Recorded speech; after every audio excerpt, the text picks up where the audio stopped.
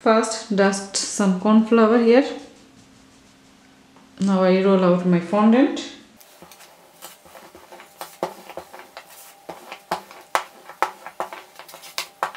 Don't make it too thin. Let me show you the thickness like this. First I'm using this one and I'm cutting two of them. Press nicely and remove excess fondant. This side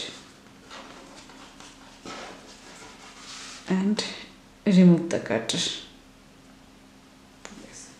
So we remove this one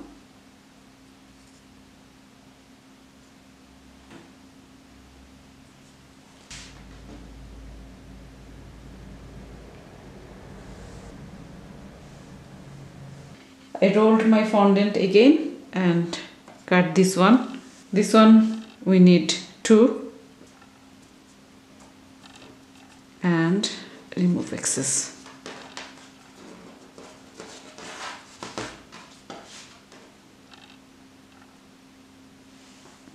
remove excess from here. It's very easy.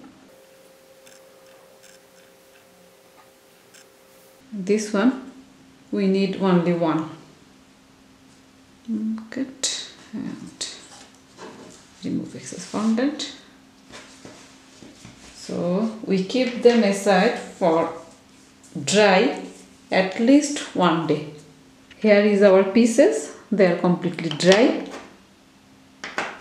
Now we are making the cot I'm using this let's see I place it here and then place this bottom part then I'm placing them like this.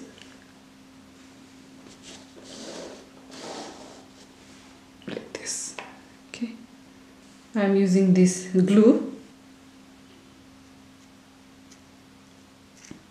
You can check the recipe how you can make this glue. I will give the link in the description box.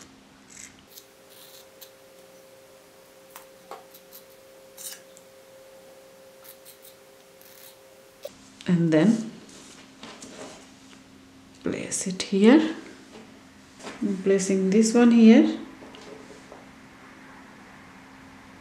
Exactly like this. So it's not standing here.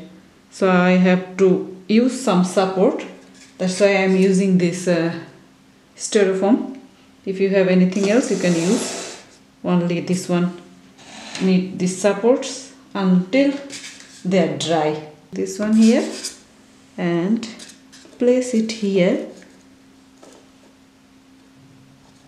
So I place it here like this to get the support and this one also this side and another I take another one.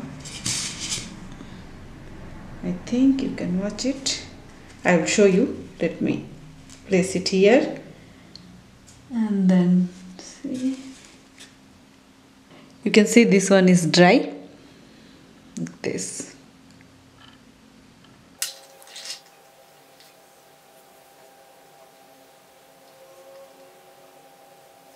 This one.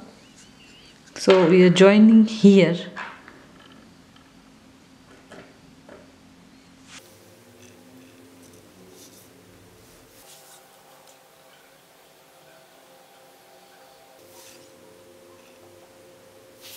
So I keep it aside for another one hour to dry. After one hour, they are also dry. Let me show you. This is our cot.